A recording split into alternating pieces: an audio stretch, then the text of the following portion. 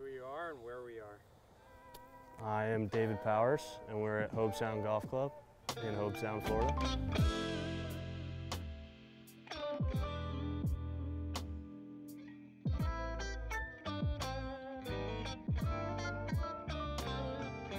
I grew up in Glen Spey, New York, outside of Monticello, New York. It's uh, pretty much in the middle of nowhere, about hour and 50 minutes north, 90 miles north of New York City on the Pennsylvania border, kind of on the Delaware River. Not a whole lot of golf presence in that area, and like no one in my family played, and my friends in high school kind of gave me that why are you playing golf thing. I mean, it was kind of always something that I did. I started playing when I was three years old, so um, it's always been a part of my life, but not many people do what I'm doing from where I grew up.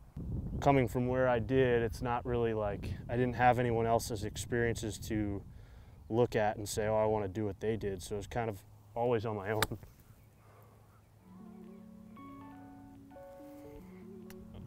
Uh, really good practice day is going to last anywhere from three to five hours usually. Um, that's if I'm not going to play. Um, so I kind of work through all the facets of my game. Like, kind of just depends on what I'm working on. A lot of it is like if I'm on the range, a lot of it is uh, distance control, and I just check in to make sure nothing crazy is going on in my golf swing. And then, uh, you know, like chipping, pitching is kind of a, a good example of what we just did. A, a work on the motion a little bit, kind of check in on that, and then go to more like situational stuff, high shots over bunkers, bunker shots, you know, controlling trajectory and spin and things like that, and just kind of forcing myself to hit more uh, specific shots, kind of training what it might be like on the golf course. Um, and then putting, usually I, I break down all the parts of putting, whether it might be path and face training or uh, speed and uh, reading greens. I do quite a bit of work on reading greens because sometimes I feel like I'm blind there, but uh, yeah, so I, I, just, a good practice day, I try to hit a little bit on everything. And then days that I play, I kind of do more of a, you know, I might do a little bit of practice if I'm working on something specific, um, but I try and get to the golf course and do more of like a, a typical warm up for, uh, you know, like if I'm going to a tournament, what that warm up session might look like. And then I try and go play. And then after the round, if I feel something is needed, I'll go and practice that.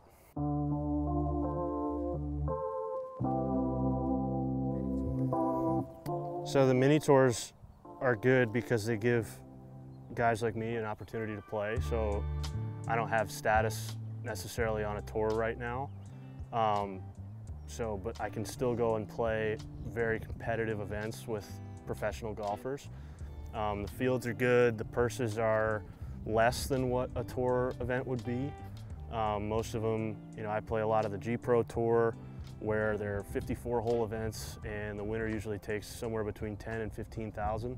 I play the minor league tour is another great tour down here in South Florida. Uh, they do a lot of one day events where, you know, you can pay your entry fee and then, and then win X amount of dollars based on how big the field is. So, I mean, mini tours are really, uh, they're great just for professionals to get tournament reps and kind of get the feel of, of playing against guys that are really good at what they do. So it's even guys down here that, you know, have PGA Tour status, Korn Ferry status, and, and they'll come and play a minor league because, you know, it's competition and it's, it's pretty good competition. So, um, you know, I think for a lot of guys, it's not necessarily about the money. They like to compete and play against the best of the best. Um, you know, when you're not necessarily playing on a tour, the money is a little bit more important because you got to survive. So, uh, you know, you got to pay your bills somehow. Um, nobody's comfortable when there's two digits in your bank account.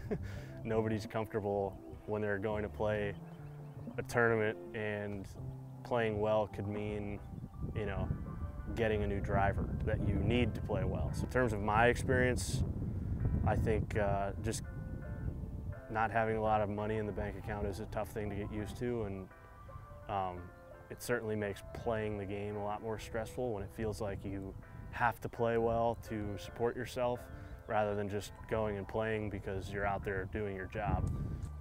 But at the end of the day, it's you know, you're going out to play golf and, and do it well and compete with guys that in some cases are the best players in the world.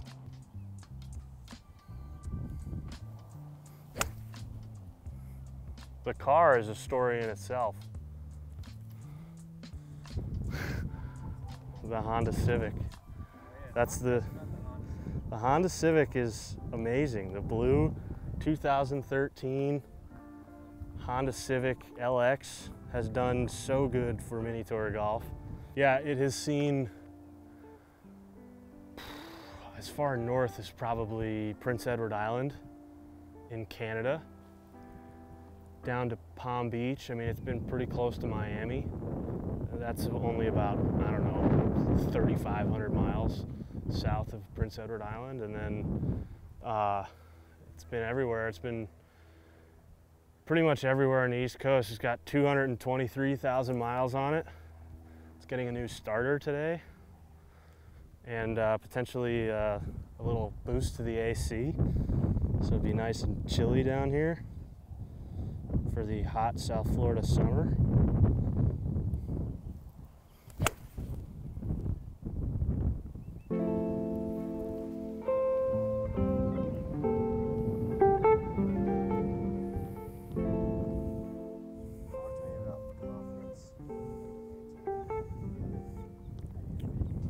Um, I don't know. I have a, I don't know if it's a unique idea of confidence, but I think confidence is is almost overrated. Um,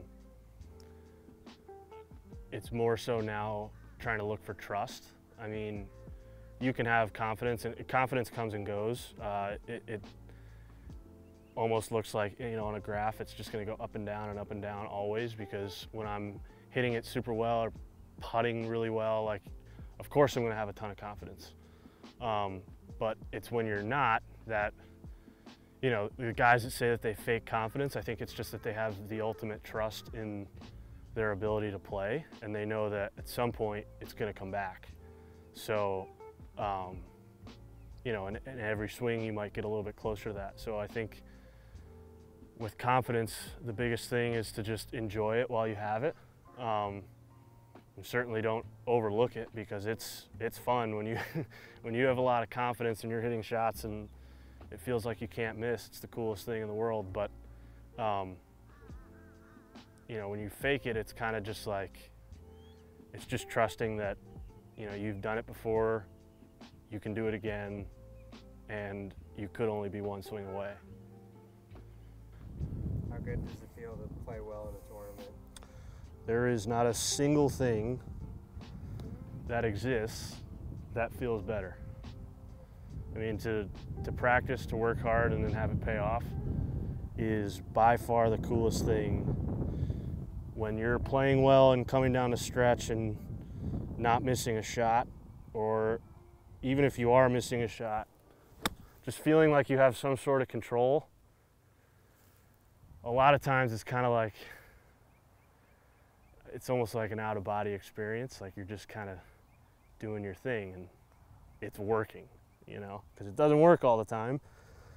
And very rarely is it perfect, but when it works, it's special.